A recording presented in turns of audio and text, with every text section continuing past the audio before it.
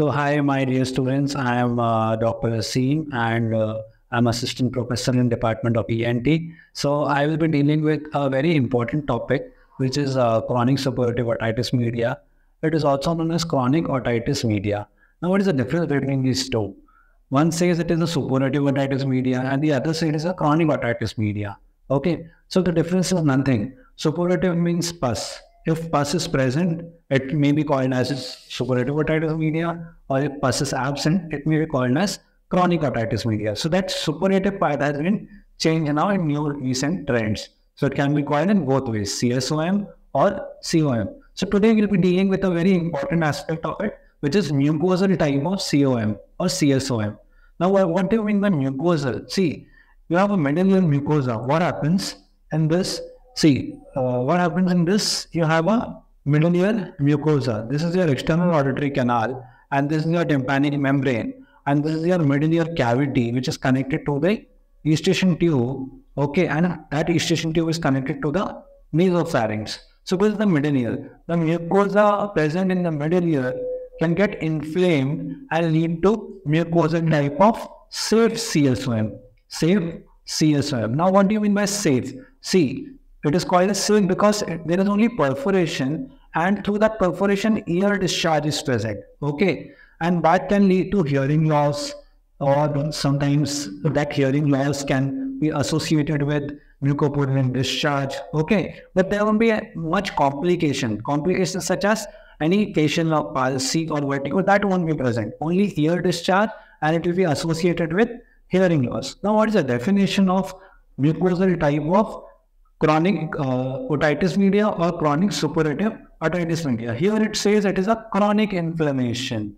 Chronic inflammation of, of what? Middle ear mucosa. मतलब इस mucosa का ये क्रॉनिक इन्फ्लेमेशन हुआ है क्रॉनिक क्यों हुआ है बिकॉज़ ये 12 हफ्तों से ज़्यादा से प्रेजेंट है ये सिम्टम्स ये प्रॉब्लम ये disease so that is why it is known as chronic suppurative otitis media and pus can be there or cannot be there अगर अगर है तो भी ठीक है, नहीं है तो भी ठीक है। बट ये क्रॉनिक मोटाइटिस मीडिया और chronic suppurative otitis media same entity है।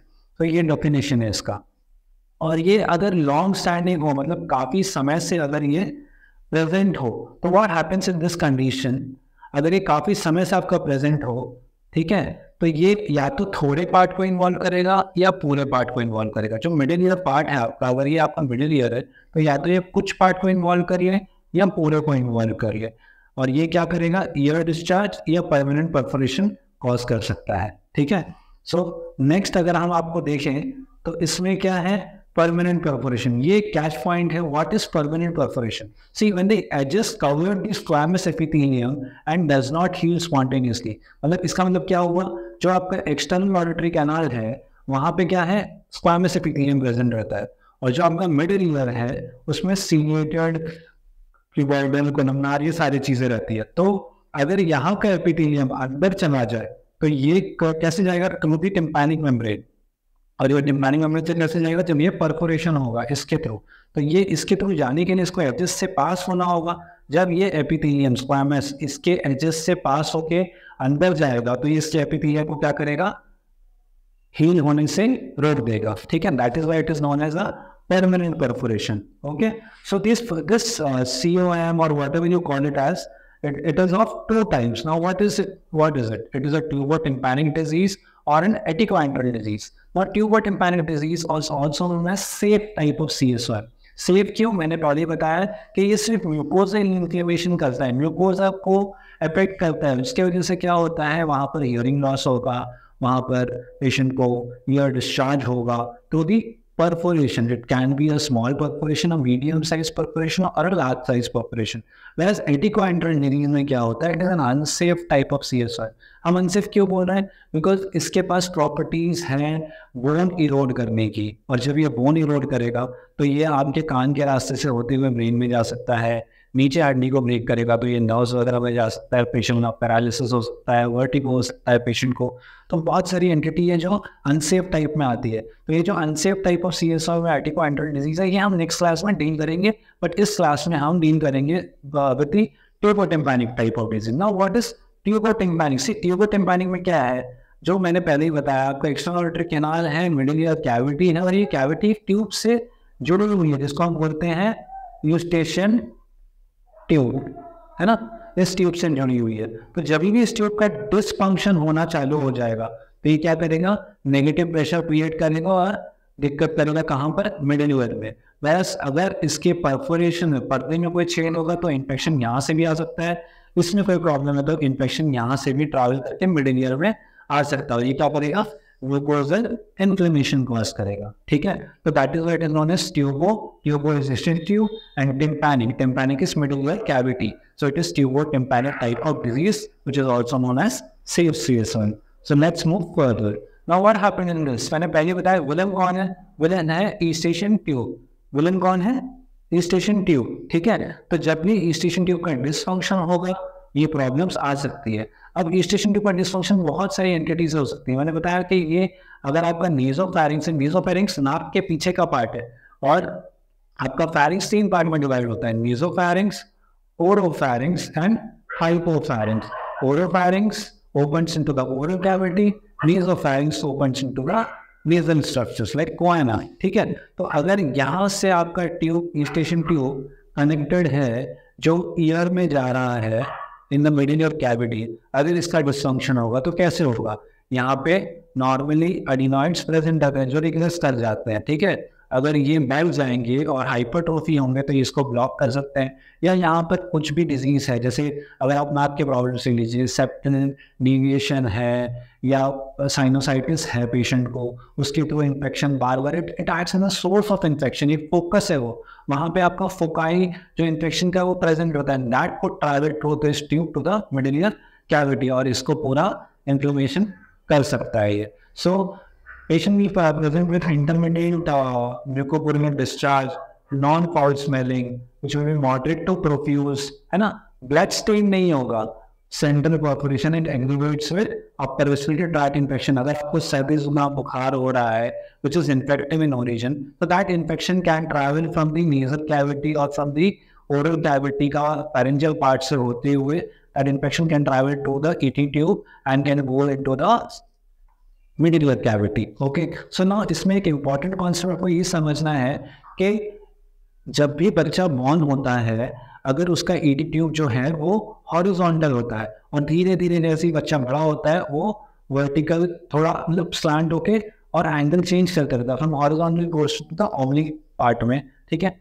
सो so, बच्चे की कंडीशन में सीरियस ओटाइटिस मीडिया जिसको हम ब्लू ईयर बोलते हैं वो हो सकता है if not treated properly it can go into the acute otitis media and if that is not treated properly it can go into chronic otitis media जिसके बारे में हम बात कर रहे हैं। ठीक है? सो so नेक्स्ट हम देखेंगे कि ये जो क्रॉनिक ओटाइटिस मीडिया है जो ट्यूबोटेम्पैनिक टाइप है ना ये भी दो पार्ट में डिवाइडेड है एक है टाइप वन एंड दूसरा है टाइप टू Type 1 को हम कहते हैं it is a permanent perforation syndrome PP syndrome and the next one is second type is persistent tubotympanic mucosal infection नाम से ही आपको समझ में आ रहा है कि जो टाइप वन है, वो परमानेंट परफोरेशन वो कैसे हो गया? मैंने बताया आपको कि जो परफोरेशन जो आपका एक्सट्राऑर्डिनरी कैनाल है, अगर उसके तो एक मेम्ब्रेन में छेद हो गया है और ये पूरा मिडिल ईयर कैविटी है तो यहाँ पर आपका स्क्वामस एपिथेलियम है, जो एक्स्ट्रा ऑर्डर के नाल है, और मिडिल ईयर में आपका कोलमनार की बॉडी ये सारे प्रेजेंट है। अगर ये स्क्वामस एपिथेलियम यहाँ से होते हुए और कॉर्पोरेशन के थ्रू होते हुए अंदर जा रहा है तो ये इसकी हीलिंग को क्या करेगा?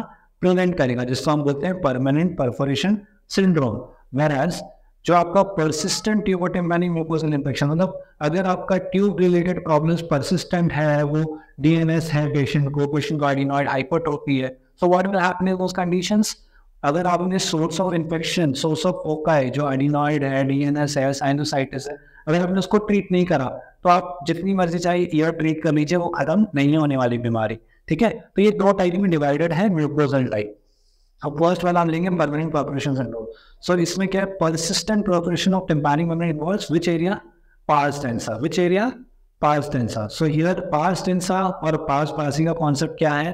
कि आपका tympanic membrane is divided into two parts. One is your pars flaccida and the other one is pars tensa. नीचे का पार्ट पार्स टेंसा ऊपर का पार्ट पार्स फ्लैसिडा सो इसमें क्या होता है जब मैंने जैसे आपको बताया अगर यहाँ पे पर्दे में छेद हो गया है in the pars tensa region तो same thing the margin be covered with shield epithelium जो ये एपिथेलियम है, अगर ये कवर हो गया मार्जिन कवर हो गए इसके तो ये ही नहीं करेगा ठीक है? तो इधर it will be a dry और इंटरमीडिएट डिस्चार्ज दोनों चीज़ हो सकती है। जब ये हील जब इसके एजेस हील कर हैं इतने पर ही, अब तो परफोरेशन तो रह तो जब ये या तो इन्फेक्शन होकर इंटरमीडियंट डिस्चार्ज दे सकता है, या ये ड्राई ईयर भी रह सकता है। अब ये डिस्चार्ज कैसे देगा? देखो जब भी हम स्विमिंग करने जाते हैं तो पानी हमारे कान में जाता है, या नहार है। अब कौन सा पानी साफ़ है, यहाँ नहीं बता सकते। तो when an infected water enter in to your canal and that can go through the perforation middle ear that can lead to intermediate discharge और अगर यही आपका मिडिल ईयर कैविटी जैसे पहले हमने बताया कि ईटी ट्यूब से अगर आपको सर्दी जुकाम, बुखार, ये सारी चीज़ें और वो इन्फेक्टिव ओरिजन तो यहाँ से भी ऊपर ट्रैवल करके आ सकता है। तो दोनों कंडीशन एक्स्ट्रा कैनाल से भी जा सकता है in in form of infected water और नीचे से भी आ सकता है in form of ET tube dysfunction जहाँ पे आपको स्नीजिंग वाइन और या which is an infective etiology उससे आपको हो सकता है। And the next second type में क्या था? सेकेंड टाइप में इट इज़ ट्यूब टिम्पैनिक वाला पार्ट मतलब ट्यूब रिलेटेड प्रॉब्लम्स ठीक है? It could be a long standing infection और ओडरलेस म्यूकॉइड और म्यूकोपोलिन डिस्चार्ज आएगा इसमें। और अगर बहुत ज़्यादा डिस्चार्ज आ रहा है it is because of upper respiratory infection और अ मैस्टॉइड इन्फेक्शन इन दोनों के प्रॉब्लम की वजह से बहुत ज़्यादा डिस्चार्ज आ सकता है बिकॉज़ ये एक रिजर्वायर की जैसा काम करता है। देखो मैस्टॉइड कैविटी हमारे ईयर के पोस्टीरियर पार्ट में है मैस्टॉइड वो it acts as a reservoir infection normally उसमें एयर सेल्स प्रेजेंट होते हैं। हवा भरा होता है, जिससे हमारी थोड़ी कान की जो वेंटिलेशन है वो बराबर हो लेकिन अगर इन्फेक्शन अगर हो रहा है कान में बहुत ज़्यादा तो वो मैस्टोइड रीजन को भी अफेक्ट करता है और मैस्टोइड रीजन ऐसा है जहाँ पर इन्फेक्शन परसिस्ट कर सकता है जहाँ वो रिजर्वायर जैसा काम कर सकता है और वो that can lead to a profuse ear discharge Now, large near total perforation can be present in this condition. And when there is an exposed mucosa, it will be a thickened or a red mucosa. And when there is an exposed ossicle, that ossicles will be buried in, in that edematous mucosa. मतलब आपका जो middle ear cavity है उसमें तीन ossicles होते हैं मेनियस incus and stapes इसमें या तो ये बरी हो सकता है इनके म्यूकोजा में छुप जाएगा और ये या तो जो म्यूकोजा है वो म्यूकोजा एक रेड फीवरी थिकन म्यूकोजा हो सकता है और कभी कभी ये पेन ड्राई भी हो सकता है सो ये सारे एम सी देखिए ये कॉन्सेप्ट है जो आपको समझना है कि विलन कौन है? स्टेशन ट्यूब विलन कौन है? स्टेशन ट्यूब अंदर के पार्ट से। बाहर से कौन है? बाहर से outing source of infection infected water तो ये सारे एम सी क्यूज अगर आपको कॉन्सेप्ट समझ में आ रहा है तो आप एम सी क्यू आराम से सॉल्व कर लोगे।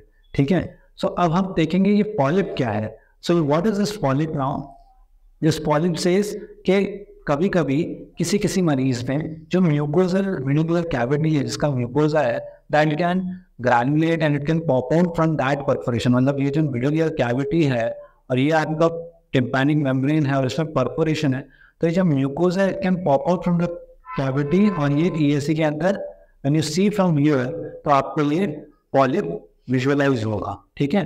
That is the result of mark oedematous mucosa मतलब यहाँ का बहुत ज़्यादा इन्फ्लेम म्यूकोजा हो गया जो यहाँ से निकल के आपका बाहर आ रहा है। ठीक है? कहाँ आ रहा है? एक्सटर्नल ऑडिटरी कैनाल में। And it can be associated with necrosis मतलब यहाँ पे जो ऑसिकल्स हैं वीलियस इनकस एंड स्टेपिस इन तीनों ऑसिकल्स को ये इरोव कर रहा है, ये नेक्रोज कर रहा है और यहाँ से ये बाहर निकल जा रहा है। तो ये सारी एंटिटी आपको याद रखनी है कि क्यों हो रहा है। ठीक है?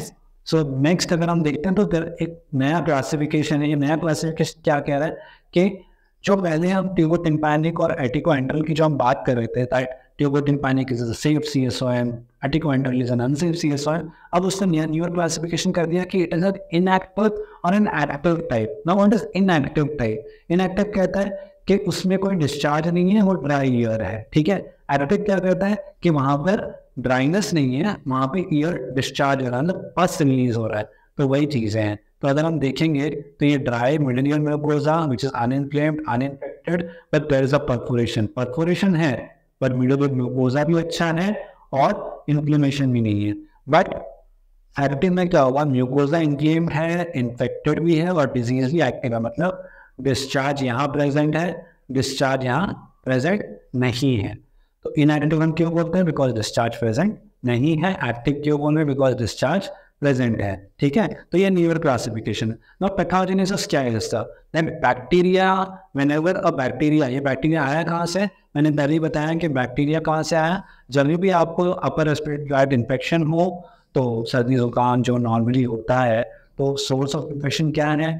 ये सारी चीज़ें। तो ये क्या करती है आपके अडिनॉइड्स जहाँ नेजोफेरेंजियल एरिया है, वहाँ पे लॉज होती है, वो पोकाई बन जाता है या साइनोसाइटिस ले लीजिए वे बी एन एस है, सारी चीज़ें। तो पोकाई इन्फेक्शन वहाँ परसिस्ट करता है and it adheres with the nasopharyngeal mucosa and enters into the ET tube because ET tube dysfunction हो चुका है, वहाँ से वो जाकर मल्टीप्लाई करता है मिडिल एनवायरमेंट में जाके फैल जाता है। And that that leads to inflammation of middle mucosa मतलब सिंपल सा कॉन्सेप्ट है। आपको इन्फेक्शन हुआ, वहाँ से इन्फेक्शन लॉज हुआ अडिनॉइड या कोई भी sinusitis in the nasopharyngeal area यहाँ से इसने ट्यूब को ब्लॉक करा ट्यूब का डिसफंक्शन हो गया और डिसफंक्शन होते ही ट्रैवल करके ये मिडिल ईयर कैविटी में गया और यहाँ के सारे म्यूकोजा को इन्फ्लेम्ड कर दिया और ये इन्फ्लेमेशन से डिस्चार्ज बनना चालू है बिकॉज़ यहाँ पे ग्लोबलेट सेल्स वगैरह होती हैं and that can lead to infection मैंने मैंने आपको बताना भूल गया था ये चीज़ के, जो आपका ईटीट्यूब डिसफंक्शन है, वो ईयर के तीन भाग में रहता है। ऊपर वाला भाग एपी मीजो एंड हाइपोटिम्पानम तो जो आपका ईटीट्यूब डिसफंक्शन सेम टाइम पर ट्यूबोटिम्पानिक है that impacts this area which is your mesotympanum and hypotympanum whereas epitympanum is affected in atticoantral type of disease जो ऊपर का एपिटिम्पानम है, वो एटिक्वाइंटल टाइप ऑफ़ डिज़ीज़ में अफेक्ट होता है। और जो मीजो और हाइपो है, उसका एंट्रो इंफीरियर पार्ट जहाँ से आपका इट्यू निकलता है that area is affected in certain type of disease that is tubotympanic type of disease ठीक है?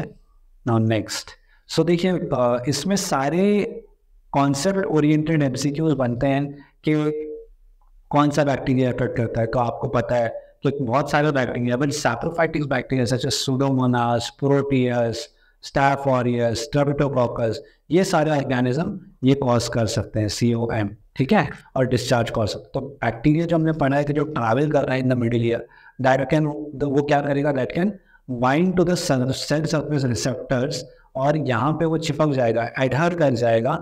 And I told you adenoid acts as a bed for the bacteria and when there is a rapid change in pressure or then is obstruction of the ET tube, that may lead to a problem in the middle cavity. ठीक है? सो organisms जैसे हमने previously describe किया है कि both anaerobic and aerobic organism ये सारे cause करते हैं। ठीक है? तो इसमें एरोबिक एनारोबिक दोनों दोनों का सेम कॉज है सेम प्रॉब्लम है। इसमें सबसे ऊपर आता है सोडोमोनाज बिकॉज़ ये बायोफिल्म वाले प्रॉब्लम्स यहाँ पे अराइज हो जाती हैं। ये जल्दी ठीक भी नहीं होता है। Then Staph aureus epidermidis Proteus Klebsiella E coli इसमें सुडोमोनास आपके सबसे ज़्यादा इंपॉर्टेंट हो जाता है स्टाफ हो जाता है प्रोटियस हो जाता है। बाकी सारे थोड़े बहुत वॉस करते हैं, ठीक है? बट एम सी में सुडोमोनास को सबसे ज़्यादा ऊपर रखना है। Now symptoms now what is the symptoms of an glucagon type of C O M इसमें क्या होता है? Symptom is ear discharge I told you earlier ठीक है? Ear discharge hearing loss and specially fever in children अगर children है, अगर बच्चा है तो उसमें fever will be one of the symptom बाकी ear discharge and hearing loss ये दो चीज़ तो प्रेजेंट रहेंगे ही रहेंगे। ये कॉन्सेप्ट आपको समझना इंपॉर्टेंट है। दैट परफोरेशन है ईयर डिस्चार्ज है या नहीं है, वो ज़्यादा इंपॉर्टेंट नहीं है। क्यों? क्योंकि वो ईयर डिस्चार्ज ही डिवाइड करता है into inactive and active disease अगर इनएक्टिव है मतलब बस नहीं है। एक्टिव है मतलब बस ईयर डिस्चार्ज है। और अगर ये ऑसिकल्स को नेक्रोज कर रहा है तो मेम्ब्रेन में परफोरेशन भी है ऑसिकल्स भी नेक्रोज हैं तो ज़ाहिर सी बात है हियरिंग लॉस ज़रूर होगा। और हियरिंग लॉस कौन सा होगा? Conductive type of hearing loss क्योंकि एयर कंडक्शन और बोन कंडक्शन में डिफरेंस आ रहा है। साउंड कंडक्ट नहीं हो पा रहा है from the outer environment to the inner ear because पर्दे में छेद है और ऑसिकल्स नेक्रोज्ड है। ठीक है सो नेक्स्ट अगर हम देखेंगे तो डिग्री ऑफ़ हियरिंग लॉस यही हियरिंग लॉस किन किन डिग्री में अफेक्ट करता है मतलब किन किन चीज़ों पे ये परसिस्ट करता है एक तो साइज़ अगर साइज़ छोटा है तो degree of hearing loss different होगा साइज़ बड़ा होगा degree of hearing loss different होगा position of the perforation Is it, is it in the central part or a marginal part? That also. Then fixation of the drum or the ossicles. If it is not moving freely, then again degree of hearing loss will change. And ossicular disruption अगर तीनों bones मीलियस इनका status में continuity नहीं है तो ये दिक्कत कर सकता है। And status of the inner ear तो इनर ईयर का स्टेटस कैसा है? कॉकलिया वेस्टिब्यूल सेंसर कैनाल इन तीनों की कंडीशन तीनों तीनों हेल्दी है या अनहेल्दी है इन्फेक्शन ट्रैवल करके इनर ईयर में जा रहा है। ये सारे कॉन्सेप्ट बेस है। आपको इन सारे फैक्टर्स को देखना है और इसी के बेसिस पे आपको प्रोग्नोस्टिक फैक्टर मिलेगा कि degree of hearing loss treat हो सकता है। या होगा तो कितना होगा और नहीं होगा तो कितना नहीं होगा। ये सारी चीज़ें आप इनके बेसिस पर डिस्क्राइब कर सकते हैं। नाउ आर द साइंस वो साइंस में means what what the patient sees what the doctor sees and symptoms is what what the patient tells to the doctor तो साइन मतलब क्या? हम जो देख पा रहे हैं डॉक्टर क्या देख पा रहा है? तो वो क्या देखेगा? ईयर डिस्चार्ज है विच इज़ म्यूकोपुरनेंट इंटरमीडियंट इंटरमीडियट रुक रुक के आ रहा है non all smelling non blood stain मैंने इनएक्टिव में मैंने बताया ईयर डिस्चार्ज नहीं होगा ईयर डिस्चार्ज नहीं होगा। और सेंट्रल पॉपुलेशन होगा तो आपको उसका size size margin and edges सारी चीज़ें देखनी है आपको, ठीक है? अगर लार्ज परफोरेशन है लार्ज परफोरेशन है तो आपको एक चीज़ देखना है कि वो लार्ज परफोरेशन पे क्या आपको प्रोमोट्री दिख रहा है ओवल विंडो दिख रहा है राउंड विंडो दिख रहा है इजिटी ऑफ़ दिख रहा है या ऑसिकुलर चेन दिख रहा है, या स्टोपिनियस का टेंडन वेनिकुलर म्यूकोसा बिकॉज़ ये सारी चीज़ें आपको लार्ज कॉर्पोरेशन के थ्रू दिख सकती है, ठीक है? तो अगर ये दिख रहा है इसके बेसिस पे भी आप ट्रीटमेंट डिसाइड कर सकते हैं कि आपको कितना कवरेज करना है, कितना ग्राफ लगाना है, ठीक है? नेक्स्ट ना वट आर टेस्ट आप कौन कौन से टेस्ट करेंगे जिससे पेशेंट का आप एग्जामिन कर पाए? तो one is Rinne's Rinne's is negative Rinne's is what negative negative मतलब क्या? Bone conduction is better than air conduction because यहाँ conductive hearing loss Weber's is lateralized to the disease ear disease ear मतलब क्या? अगर मेरा right year problem है, अगर right ear में मेरे chronic suppurative otitis medium mucosal type है मतलब पर्दे में छेद है और ईयर डिस्चार्ज है तो अगर मैंने ट्यूनिंग बॉक्स स्ट्राइक करके अपने सर पे रखा तो मुझे इक्वली दोनों कान में नॉर्मली सुनाई देना चाहिए। लेकिन अगर मुझे दोनों में ना सुनाई देकर मेरा अगर आवाज़ डायरेक्टली डिज़ीज़ ईयर में जा रहा है, मुझे टेलीफोन जो सेंटर में लगाया था वेल्टेक्स पे या फोर हेड पे या तीन पे, और अगर मुझे लैटरलाइज टू दी राइट में ही हो रहा है then it is conductive type of deafness और अगर ये रिलीज़ नेगेटिव आ रहा है मतलब अगर मैंने टीवी को स्ट्राइक करके मैस्टर्ड पे रखा और मैस्टर्ड वाला आवाज़ एयर कंडक्शन से बेटर है मतलब पिना के सामने रखा तो ये नेगेटिव बताएगा। मतलब it again a conductive type of hearing loss ठीक है? And A B C A B C is what absolute bone conduction test and that be normal over ear इसी का उल्टा सेंसरी न्यूरल में होता है, ठीक है? तो वो हम नेक्स्ट क्लास में डील करेंगे। Now E U M now what is E U M examination under microscope अब आपने टेस्ट कर लिया आपको इसमें एग्जामिन भी तो करना है। तो आप क्या करोगे? माइक्रोस्कोप के अंडर एग्जामिन करोगे। इससे क्या देखोगे? Margin of the perforation epithelium दिख रहा है कि नहीं आपको? या आप ग्रैनुलेशन टिश्यू पॉलिप अगर आपको कोई डिस्चार्ज दिख रहा है तो आप उसका स्वैब ले सकते हो और कल्चर सेंसिटिविटी के लिए भेज सकते हो। To know about the organism and give a specific line of treatment antibiotic specifically आप चालू कर सकते हो। And check the ossicular status ये सब आप एग्जामिनेशन अंडर माइक्रोस्कोप कर सकते हो। Now stages there are four stages in this one is active stage नाम में एनेटिव तो पता है आपको कि ये क्या है?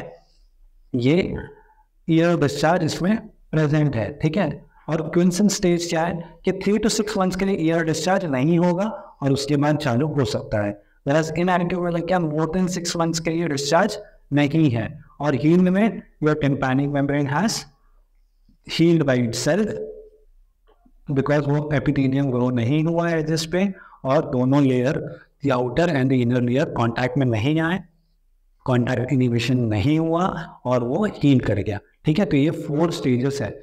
हीलिंग के टाइम पे आपको बस ये ध्यान देना है the fourth stage that healing can be healing healing of the tympanic membrane by itself can lead to tympanosclerosis now, what is tympanosclerosis see, इसमें होता क्या है वैसे कि जब भी आपका परफोरेशन होगा मतलब अगर आपका ये टिम्पैनिक मेम्ब्रेन है और यहाँ परफोरेशन है तो ये अपनी हीलिंग चालू कर देगा अपने आप।